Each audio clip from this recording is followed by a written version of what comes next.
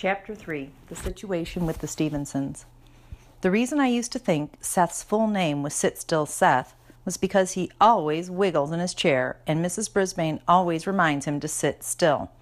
He really does try, but he has so much energy he just has to move. I guess that's why he loves sports a lot, both playing them and watching them, along with our other sport fan in room 26, Tabitha. As much as I like Seth, I was hoping his whole family didn't fidget and squirm as much as he did. I always have my wheel to work off my excess energy. Too bad Seth doesn't have one, too. On Friday, Seth's mom, June, drove us home without as much as a twitch. She did tell her son to quit bouncing up and down on the seat, which I appreciated, as car rides always make me queasy, even without Seth's jiggling and joggling. Thanks for picking me up, Mom, Seth said. I thought Grandma would do it. I was afraid she'd have trouble with the cage. The shop wasn't busy, and Carolyn covered for me. I'll do the same for her next week. She laughed. I'll be glad when your sister can drive you. Seth bounced a little higher. I won't, he exclaimed. Once we were home and I was placed in the den on a big table, I saw the other members of Seth's family. His sister was a teenager named Lucinda, and Grandma was an older lady who I later figured out was June's mom. Want to meet Humphrey? Seth asked his sister. She turned up her nose. Hamsters are for children, she said, and walked away. I'm going to write in my journal now, so please don't disturb me. Don't worry, I won't, I squeaked at her. Hamsters are for children. Try telling that to Principal Morales or Aldo or even Miss Mrs. Brisbane. The older woman slowly approached the cage and leaned over to get a closer look at me, but not too close. Don't worry, Grandma. He won't hurt you, said Seth. Is it clean? she asked. Probably cleaner than I am, Seth joked. Grandma didn't crack a smile. I'm afraid that might be all too true, she said. She backed away from my cage and left the room. You'd better give him some fresh water, Seth's mom suggested, and some food. At least Seth's mom didn't call me an it, which I always appreciate. Once I was settled in, Seth started playing a video game. He didn't merely sit and play. He bounced and bobbed, he shook and shimmied, he rattled and rocked. I was feeling kind of woozy, so I crawled into my sleeping hut for a nice doze. I woke up when Seth's mom announced that dinner was ready. Luckily, the den had a big, wide opening right into the kitchen, which is where the family sat down to eat. Dinners at my classmates' houses are always fun, too. There are yummy smells and interesting things to hear all about one person's day at work and another person's day at school. Some people were loud while they ate, like Lower Your Voice AJ and his family. Some people were quiet, like Tabitha and her foster mom. Seth's family didn't talk much, but when they did, it was always about one subject Seth. Can't you sit still? asked Lucinda in a superior tone of voice I didn't care for. I am sitting still, said Seth. You are not. You bumped the table. See, my water spilled, his sister replied. Do try and be calm, honey, Seth's mom said. In my day, Grandma began, then started over in a much more dramatic voice. In my day, boys and girls had to sit still at the table without saying a word. That was what we called manners. Are you listening? Yes, ma'am, said Seth, sounding quite miserable. Everything was quiet for a while, except for the clinking and clanking of knives and forks. I don't know why humans need those when they have perfectly good set of paws like I do. Then Lucinda exclaimed, He's doing it again! What? said Seth. You know what, shaking your legs. Sorry, Cindy, he said, my name is Lucinda, she answered icily. You used to like being called Cindy. Well, I don't now. Seth and his family were silent for a while until Lucinda clanked her fork loudly and said, Oh, really? If you bump that table leg one more time, I'll. It was an accident, said Seth. Kids, please, Seth's mom sounded tired. In my day, Grandma began again, in my day, children were not allowed to argue at the table. I'll bet Seth can't stay still for one minute, said Lucinda in a nasty voice. I'll bet you can't stay still for two minutes, said Seth. June, you should not allow your children to gamble. Grandma grumbled, In my day. Mother, you're not helping, said June, which was true. My mother wouldn't allow us to make bets. This conversation was getting on my nerves, so I hopped on my wheel to try to relax. Unfortunately, my wheel always makes an annoying screech. What on earth is that creature doing? asked Grandma. He's on his exercise wheel. It's good for him, Seth replied. Grandma sniffed loudly. I guess nobody around here can sit still except me. Well, I certainly can, Lucinda objected. You move as much as anybody, said Seth. Look, you just blinked. Blinking doesn't count. Banging the table like you do, that counts. Somebody, maybe Lucinda, banged a hand on the table. I could tell because the dishes rattled. Someone else, I'm guessing it was Seth, banged a hand on the table too. That's enough, Seth's mom sounded as, as, as if she was about to explode. Night after night, all you do is bicker about who's sitting still and who's not, and who's right and who's wrong. Well, I've had it. We're going to leave the table and go to the den and settle this once and for all. For goodness sakes, and let my dinner get cold? Grandma asked in a sad little voice. It's a salad. It's supposed to be cold, said June. I'd heard irritated moms before, but she sounded as if she had really had it. She marched into the den, and surprisingly, Lucinda, Seth, and Grandma followed. Now, just sit down on the couch, she said firmly. In my day, children, even adult children, didn't address their parents in that tone of voice, said Grandma.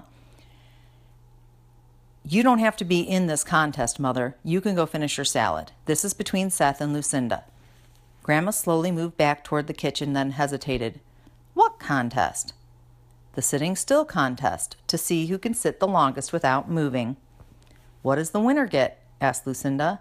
June thought for a few seconds a pair of tickets for the winner and a friend to the movies tomorrow. I'll also provide popcorn money and transportation.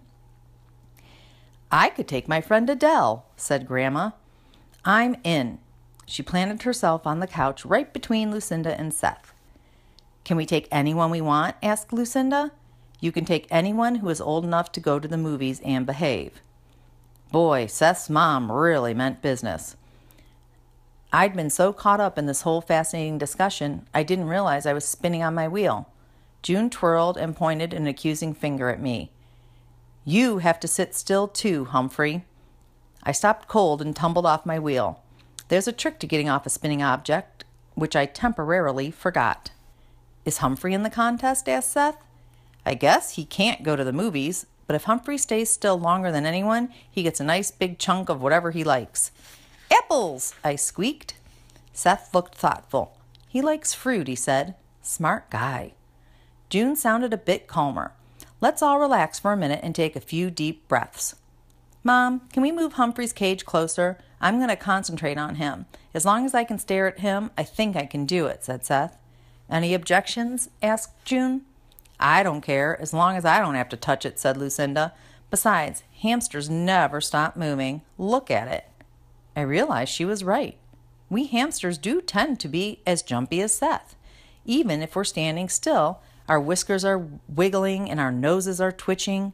However, if my keeping still could help Seth, well, he was a classmate, and in room 26, we stick together. Seth's mom pushed my table closer to the couch and checked her watch. I have a second hand on my watch. In 30 seconds, I'll say freeze. At that point, you must stop all movement. You'll be eliminated as soon as you move. Who gets to be the judge? asked Grandma. I do, said June in a voice that no one would want to argue with. No one did, least of all me. Can we blink? asked Lucinda. Yes, you can blink and you can breathe. That's it. June's watch was very quiet, but I could almost feel it tick tick, ticking away the seconds, the way the clock in room 26 does when everyone goes home and it's awfully quiet. I was pretty worried because I was looking straight ahead at Seth and he was tapping his fingers on the table. Lucinda seemed quite determined with her arms folded tightly against her body. Grandma sat up very straight. I bet people in her day always did. Ten, nine, eight, seven, six, five, four, three, two, freeze, said June. I froze. The sitting still contest had begun. Oh dear, oh dear. If you don't have whiskers, you have no idea how difficult it is to keep them from moving. I stared straight ahead at Seth, who was as motionless as Og is when he sits on his rock. In fact, I tried to pretend I was a frog, which is not an easy thing for a hamster to do. You can do it. You can do it. I sent out my thoughts to Seth, even though he probably couldn't hear my thoughts. I figured as long as I could stay still, maybe he could too. My tail felt like twitching, and my nose was itching, and I'd never gone so long without moving. Seth stared at me, and I stared back. After a while, Grandma's chin dropped and her head bobbed up and down. Grandma had moved, and she didn't even know it because she was asleep. She began to snore softly. One down, said June, keeping her gaze fixed firmly on Lucinda, Seth, and me. No one else had made a move yet, and neither did I. Although seeing Grandma asleep like that made me not only want to wiggle, it made me want to giggle. Seth was as frozen as a statue, and I was proud of him. However, Lucinda looked like she was made of solid steel. Tick, tick, tick. That imaginary clock sounded loud in my brain. Amazingly, Seth still hadn't moved a muscle. I tried to keep my gaze firmly on him, though once in a while I glanced at Lucinda. I was beginning to believe the girl had turned to stone. Suddenly, I saw her blink. Okay, blinking was okay, but this was like a double blink, like a wink, followed by another and another. Pretty soon she was blinking both eyes hard. Aha, I thought. She's trying to throw me off because she thinks that if she throws me off, I'll throw Seth off, which would be a shame because even if Seth lost, he had already sat still longer than ever before. Then it happened. Lucinda's head twitched and the blinking got even faster until she jumped up off the couch holding her eye with one hand. My contact, I've got something in my eye, she wailed and raced out of the room. Two down, said June, sounding less edgy than before. I guess you're the winner, Seth. Even then, Seth didn't blink an eye. He stared straight at me. At me. Now I got it. Seth was determined to stay still longer than I did. I wanted to squeak with joy because Seth had done so well. But there was the matter of this little itch right next to my nose. It was a little itch that grew into a bigger, more irritating itch that grew into an unbearable tickling itch. At last I reached up to scratch it. Three down, said June. Seth, you are the winner. Seth leaped up from the couch and jumped up and down, making V's with his fingers. I won! Tell Lucinda, I won! Grandma's head jerked up as she awoke with a start. Was it? she asked groggily. Did I win? No, mother. You moved first when you fell asleep. Perfectly ridiculous. I was just resting my eyes. Seth won. June gave her son a hug. Now we know you can control yourself if you put your mind to it. I guess, said Seth. He looked worried. I bet he was wondering if he was going to have to sit like a statue forever. Not all the time, of course, said June. I do believe parents can sometimes read their children's minds, just when you need to, like during a test. Seth sighed. I'll try harder, I promise. Mom, can I call Tabitha and ask if she can come see that football movie tomorrow? asked Seth. I'll call her mother after dinner, said June. Lucinda wandered in, rubbing her eye. Stupid contact lens. I don't suppose we can have a rematch. Any time you want, said Seth confidently. I'll have a rematch, said Grandma.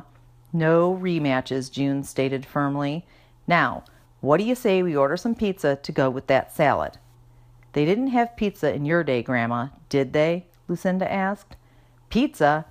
In my day, we invented pizza. Pepperoni and onions for me. Hold the peppers. I was glad they weren't arguing anymore, but I hoped I wouldn't have to hold the peppers. They're way too spicy for me. The next day, as promised, June took Seth and Tabitha to see the football movie at the mall, a place I've never been, and took Lucinda shopping. Grandma stayed home. That made me a teensy bit nervous because I had a feeling that in her day people didn't have hamsters. Or if they did, they did something worse with them than put them in a cage. For a while, she ignored me and watched a couple of programs on television where grown ups sat around and argued with each other. Whew! I'm glad Mrs. Brisbane doesn't let the kids in room 26 argue all the time. I guess even Grandma got tired of those shows because she turned the TV off and came over to my cage. Let's get a good look at you, young man. She pulled her glasses out of her pocket and leaned in to examine me. Well, you're just a little bit of a fellow, aren't you? Not good for much, I guess. Me, Humphrey the hamster, not good for much? I decided to show Grandma a thing or two. I scurried up my ladder, leaped onto a tree branch, and hung there from one paw. It was a trick that had never failed to please humans. So far, Grandma wasn't anything like the other humans I'd met. I swung myself up to my bridge ladder, dashed across it, and dove onto my wheel. Whoa, whoa, whoa! I almost lost my balance, but I managed to get the wheel going without falling over. Why aren't aren't you a Mr. Show Off? said Grandma, quite the daredevil. Then she did something surprising. She chuckled. Since I was on a roll, I hopped off my wheel, grabbed onto my ladder, and hung on with both paws, swinging my body back and forth. Ha ha! Reminds me of a song we sang as kids. Amazingly, Grandma began to sing. He floats through the air with the greatest of ease, the daring young man on the flying trapeze. His actions are da da da da da da dee, and my heart he has stolen away. It was an excellent song. She had a pretty good voice, too, even if she couldn't remember all the words. I liked being the daring young hamster on the flying trapeze. I'd almost forgotten that old song, I'll tell you, Humphrey. That's your name, isn't it? Of course, I squeaked. My name is Dot Larrabee. Humphrey, when I was young, we used to sing all the time. Now kids just listen to music. In my day, we made our own. I dropped down from my trapeze and listened. And for fun, we'd go to the roller rink. Dot's eyes lit up as she talked. There used to be a roller skating rink where the mall is now. Next door was an amusement park with a Ferris wheel and a merry-go-round. You could go on a couple of rides, maybe have some cotton candy or a snow cone. Once I saw a dancing bear there. A man would play the accordion and a bear would really dance. Now all there is to do is spend money on clothes. Who cares about clothes? I don't. I was squeaking the truth. I was perfectly happy with my fur coat. I've seen a lot of changes in my day, said Dot, but nobody wants to hear about my life. I do, I squeaked, and I meant it. She smiled again. You're a chipper fellow. I like you, kiddo. I really do. And I really, really, really like Dot. We lived in a yellow house with white trim down on Alder Street. It was a small house with a nice big yard, with trees to climb and places to play hide and seek. It was near the Dairy Maid, only back then it was a little corner store. Alder Street, Dairy Maid, that was right where I came from next door to Pet-O-Rama. They tore all that down, that block of pretty houses, put in a pet store and a music store or something, right where I used to play when I was a girl. They tore down her house to build Pet-O-Rama. I was learning a lot because I imagine Pet-O-Rama had always been there at the corner of Fifth and Alder. My mind was a million miles away when I heard a door slam, followed by the stomping and clomping of feet. Mother, June called out. I'm in here with Humphrey, said Dot. June, Seth, and Lucinda came into the den, all bundled up in coats, hats, and scarves. You were probably smart to stay home, said June. It started to sleet. I wasn't exactly sure what sleet was, but it sounded cold, cold, cold. Of course it has, said Dot. Anybody with a lick of sense would expect it. Today's March 1st. And you know what they always say March comes in like a lion and goes out like a lamb. Hardly ever fails. Why, in my day, we had three feet of snow on March 1st once year, one year. I must have been 10 or maybe 11. Seth and Lucinda rolled their eyes as if to say, There she goes again. But when I looked at Dot, I saw a young girl gazing out the window of a yellow house with white trim, watching the snowflakes fluttering down, thinking about a dancing bear. Later that night, I was feeling especially nocturnal, so I decided to perform my daring young hamster on the flying trapeze routine for Seth. I leaped up, grabbed onto my bridge ladder, and swung across it. If you were a human, you could be on the Olympic gymnastic team, said Seth. And it sounded like a very good thing. I wish Dad could see you, he continued. He lives in Arizona where it's warm all the time. He coaches high school basketball. I spend the whole summer there. And boy, it's hot. I guess Mrs. Br- Brisbane wouldn't let you stay for the whole summer. He seemed disappointed, and I guess I was too. I knew that the capital of Arizona is Phoenix. Phew! That's not easy to spell. But I wanted to know what it would be like to live in a place where it was warm all the time. I glanced out the window, and not only was it not warm, tiny pieces of ice were falling outside. Sleet! On Sunday, I saw an amazing sight. The trees outside the window were covered in ice, which glittered like diamonds when the sun came out in the afternoon. Dot stood at the window admiring the display. Yes, sir, March came in like a lion, so you know she'll go out like a lamb. Days like this, when I was a kid, we'd go ice skating over at Dobbs Pond. Don't kids do that anymore, June? June joined her mother at the window. They paved that one over and built houses there years ago, Mother. Fools! What do you bet they get water in the basements when it rains? You can't stop nature. June called Seth. Did you see these trees? They're really beautiful. Seth was watching a basketball game on TV. I saw him, he said, but I knew he hadn't taken his eyes off the screen for the whole game. June went into the kitchen, but Grandma stayed at the window watching the sun shine through the icy branches. Skating on Dobbs Pond. Dot sounded wistful. If I had a choice, I'd be the one out there skating with her. Freezing rain and snow keep students inside over the weekend. Humphrey stays warm at Seth Stevenson's house. The Humphreyville Herald.